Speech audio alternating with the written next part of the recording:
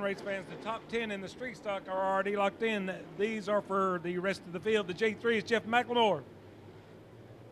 37, Shane Taylor. 30, Jonathan Sim.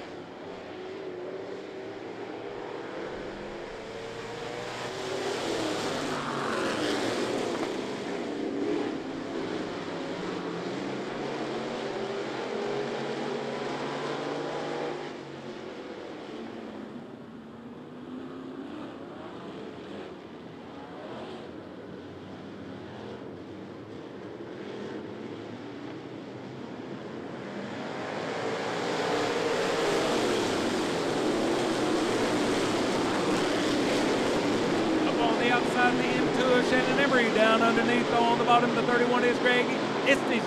Here they come side by side out of turn number four on lap number one. At the flag stand, it's the 31 of Greg Estes.